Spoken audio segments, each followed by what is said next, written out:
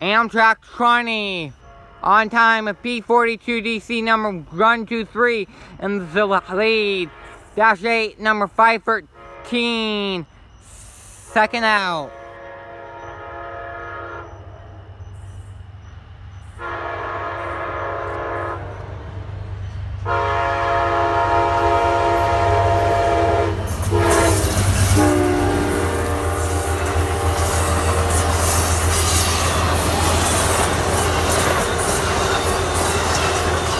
Three coach cars, one cafe car, one baggage car, viewliner, two sleepers, and what was behind the baggage car was a business class Gam Fleet 2 coach car.